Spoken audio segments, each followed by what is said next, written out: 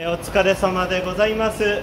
山本豪11時台終盤ご挨拶でございます、えー、南千住では私自転車にポスター立ててませんでしたので少しね私もいないあれポスターもないっつってキョロキョロしていただく、えー、方が何人かいらっしゃいまして申し訳ないところでございました。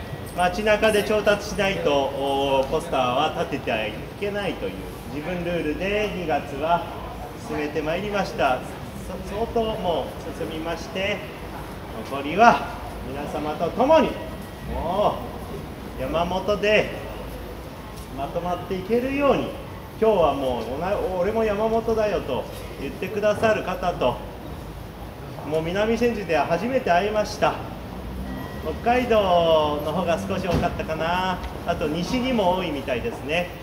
大阪と香川とか四国とかも多いみたいです。そういった同じ山本の方々と一緒にまとまることができる。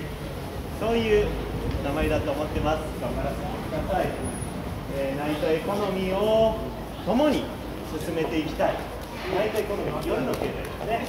これを進めることで安全性が増してくる。夜道を安心して歩ける。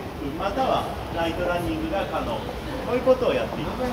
山本ゴンでございます。させてください。お疲れ様でございます。それでは行ってまいります。